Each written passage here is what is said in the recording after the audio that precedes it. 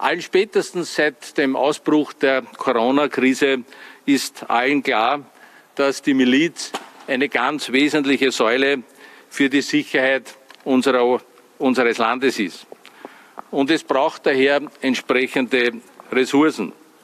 Meine sehr verehrten Damen und Herren, klar ist festzuhalten, dieses Milizpaket deckt noch bei weitem nicht den Bedarf unserer gesamten Miliz ab. Aber für alle Milizsoldaten ist das ein relevanter erster und sichtbarer Erfolg.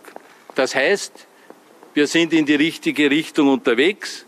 Weitere Schritte müssen folgen. Und in diesem Sinne bin ich der Frau Bundesministerin und auch der gesamten österreichischen Bundesregierung äh, sehr dankbar zum Bekenntnis einer gestärkten Miliz und damit auch einem gestärkten österreichischen Bundesheer. Vielen Dank.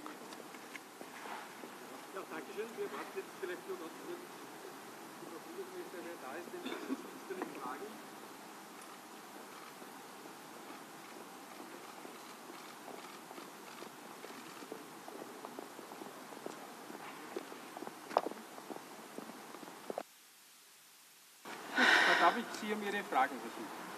Vielleicht äh, nur ganz kurz, das ist nur, äh, äh, hat nur etwas mit dem, äh, mit dem Wetter zu tun und mit äh, dem Kreislauf, also kein, äh, kein Grund zur Sorge, aber an dem ist auch zu sehen, was unsere Soldaten allein nur, wenn sie, wenn sie für unsere Sicherheit Sorgen zu leisten haben, wenn man nur daran denkt, was die Schutzkleidung, über die wir sprechen, jetzt in Zahlen wiegt.